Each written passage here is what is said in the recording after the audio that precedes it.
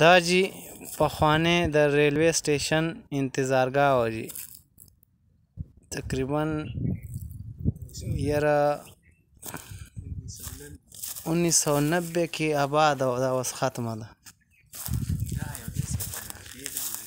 دا یې رومونه دي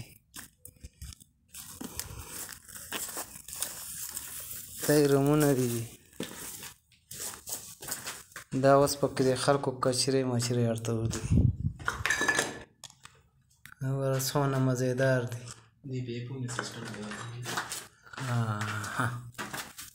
زبردست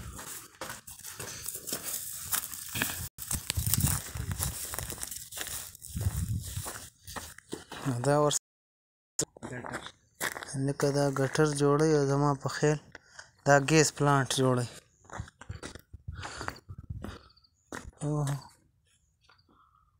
دا انځر ته وګوره کم ځای نه راخته دی